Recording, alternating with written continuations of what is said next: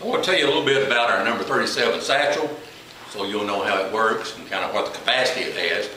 Um, this bag is made from our uh, polished steer hide, which is a leather that's um, made here in Tennessee. A couple things about it. Uh, has kind of an unusual latch on the front, and the fact that it's uh, it works like this. It's a same latch that we use on our cinch belt.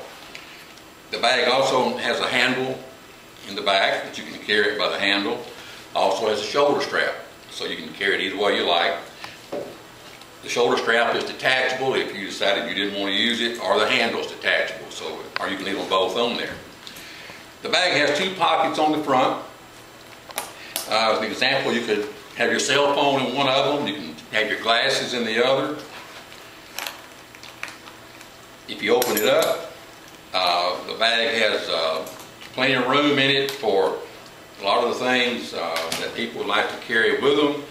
Mainly, we've got to have a moon pie in here in case you get hungry on the trail. Um, there's room in here for a portfolio, probably a travel map, your organizer, your wallet, maybe your passport wallet if you were traveling abroad, another legal pad. Uh, inside pockets like here is a place for a calculator, your pen, business cards, and several, you know, it's got, so it's got uh, two pockets inside, also a pocket on the front.